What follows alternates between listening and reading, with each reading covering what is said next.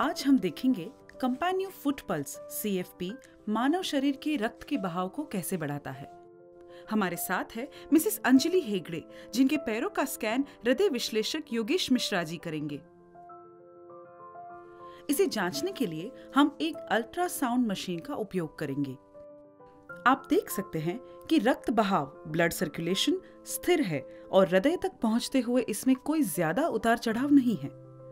अब ये जानने के लिए कि कंपानियो फुटपल्स रक्त बहाव ब्लड सर्कुलेशन को कैसे तेज करता है, अंजलि जी अपने पैर फुटपल्स पर रखेंगी। इसकी खास बात यह है कि मांसपेशियों तक पहुँचती इलेक्ट्रिक इंपल्स की तीव्रता एक रिमोट से कंट्रोल की जा सकती है।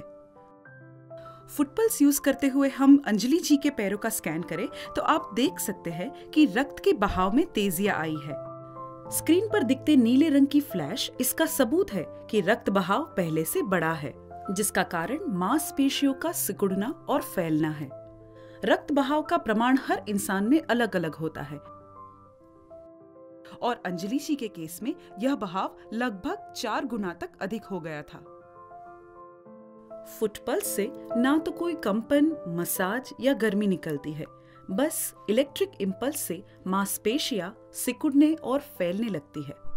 रक्त के बहाव में तेज़ी आने से शरीर स्वस्थ रहता है। तो आज ही नजदीकी कंपेनियो वेलनेस सेंटर जाइए और फुटपल्स का फ्री उपयोग करके इसका फ़ायदा उठाइए।